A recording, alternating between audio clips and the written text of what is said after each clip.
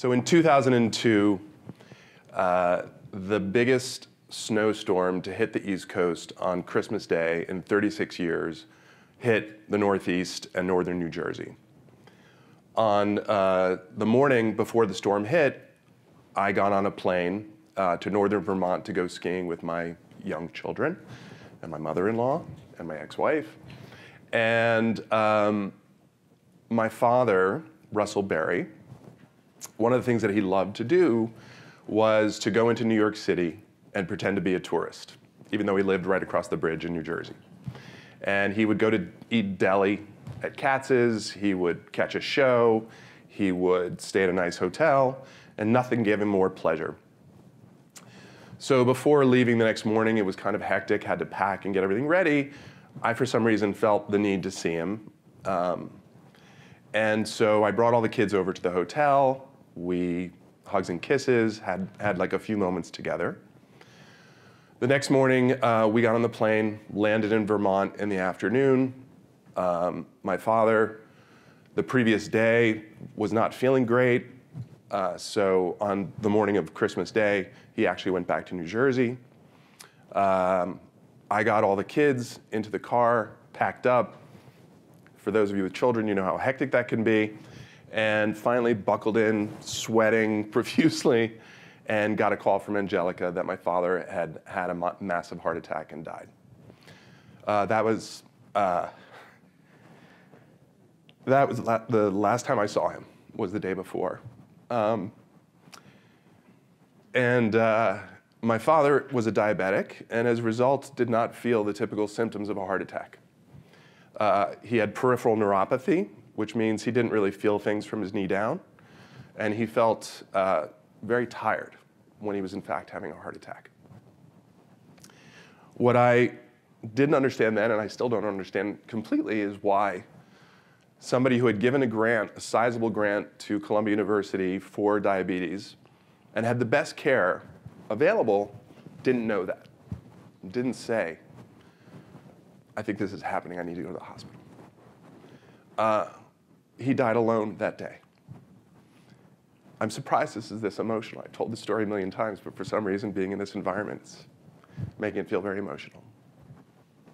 So in 1998, four years before he passed away, he gave uh, a sizable grant to Columbia University, which landed him on the Forbes uh, 40 Most Generous Americans list for that year. When you consider that Russell Berrie, who basically peddled tchotchkes and teddy bears and picture frames, uh, was at somewhere around 36, I believe, where Bill Gates was number one, that was a pretty amazing accomplishment and something that was an amazing legacy. And that legacy that he left to the world, um, you know, doesn't cloud the legacy that he left to, to me and my five siblings. You know, love of Israel, love of bagels and lox and deli food, uh, love of opera, being a good person, being a caring person, loving the underdog, betting on the underdog. Um, and more importantly, growing as a philanthropist in his community that was surrounded by pretty incredible philanthropists at the time. I think Bergen County was rated as the second most generous county in America when it came to Jewish giving.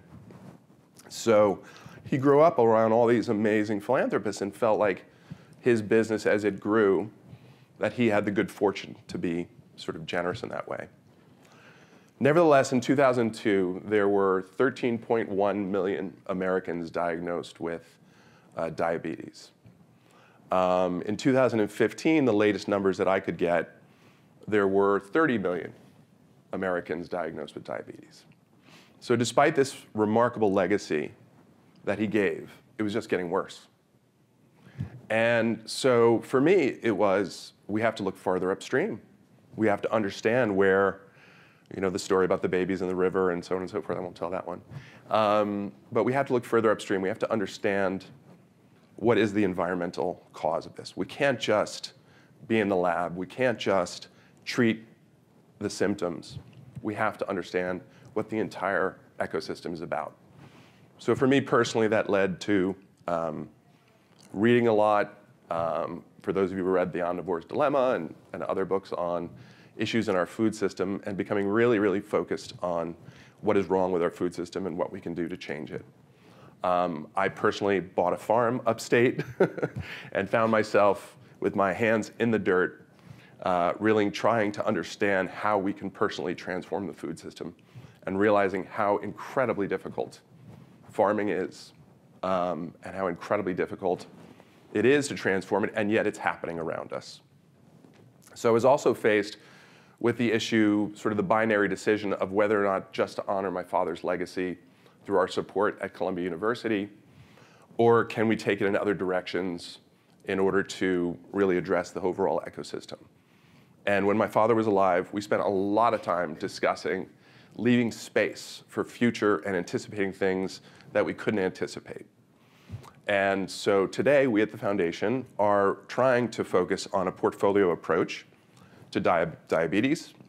Our single biggest investment continues to be Columbia University and other areas, but also focusing on the ecosystem in general.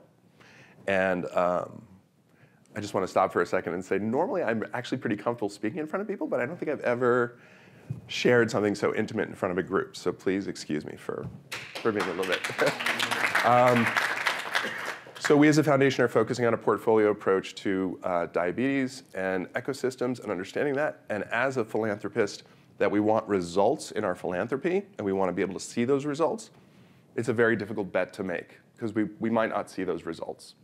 But there are incremental changes happening around us every day. Um, for those of you who went on the Urban Adamah trip the other day, was an amazing environment to see. And knowing that when you change a child's perspective on farming and eating good food, that it sticks with them for life. And when your child wants that good food, everybody else wants what they want. So thank you for listening, and uh, have a great conference.